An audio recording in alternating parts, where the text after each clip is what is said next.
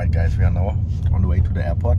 I wanted to do a full day of eating today, like a travel version of like how I'm doing it now two weeks out during travel and I forgot it this morning so I can just tell you I had like 60 grams of whey, that is it, and half of a banana just because I don't want to waste it. Like I had one half, like 70 grams in my final meal yesterday and then had like 70 grams this morning. Now I'm having, yeah, Monster uh, Ultra. And I also track this stuff in, like it's only like seven calories, but like very deep into prep, I track like vegetables, I track my zero calorie drinks, I track, yeah, everything because it can, yeah, easily accumulate. Like when you have like those like 10 calorie diet drinks, let's say you have like something else with like 10 like like zero like it can accumulate to like 50 to 100 a day easily.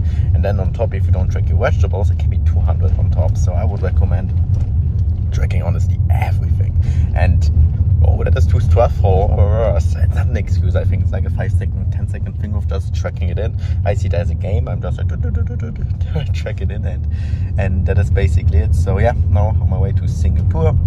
And tomorrow I have the seminar so it might be a two-part vlog version we're going to see. So today it's a kind of like yeah show you a little of Singapore and full day reading how I'm doing during travel. So yeah when it comes to that like lots of experience flexible dieting I'm like sticking to the basics I have like packs of whey with me. I have some protein bars. I have some some cereal some some some Haribos and that is mostly it. And the rest I will just get there. So by just having a basic understanding of like protein carbs fats you can basically mostly yeah survive every everywhere. And the only thing I prepare in a way is like just to be safe it's like having some whey with me and some protein bars so I just eat my because carbs and fats you're going to find everywhere every supermarket with ease and I have my food scale with me. I have my body weight scale with me.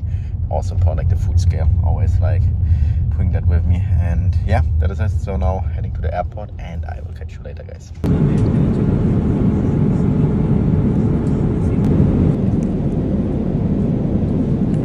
Alright guys hope you can hear me. The guys next to me been sleeping so I don't want to talk. So I had two protein bars the grenade ones they are amazing I really like them and half a pack of rice cakes it's my high day so I have to get the carbs in so yeah, very satisfied now. Good meal and landing in around one hour. And then yeah, we'll probably check out Singapore today. We'll see. Alright guys, that is my meal on the go. So toast. I have some like pre-made chicken from 7-Eleven, like two of those. Pineapple, 100 grams of guava and 150 I think mango. So everything weighted down with this one. And that's how it goes. Like I go with like just like toast I still have some protein bars like some Wheaties over there.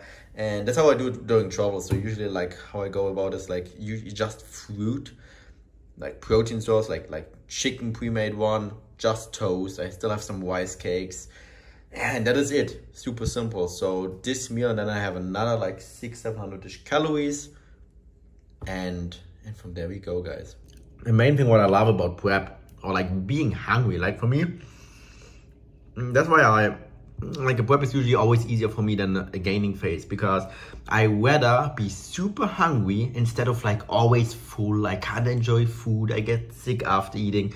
Much worse for me from a nutrition perspective. So what I really enjoy doing prep is like, I had like some plain toast with the chicken, like here the fruits and everything tastes good. Like that is why it's, it's so easy to travel also during a prep, I feel, because all you have to find is like some basic food, like toast or like some chicken slices, some like something like that. And it will just taste amazing.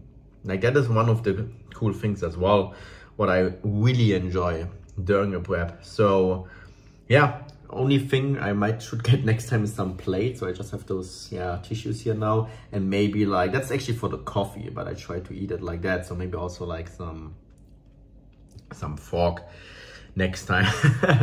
so now I know for like Dubai.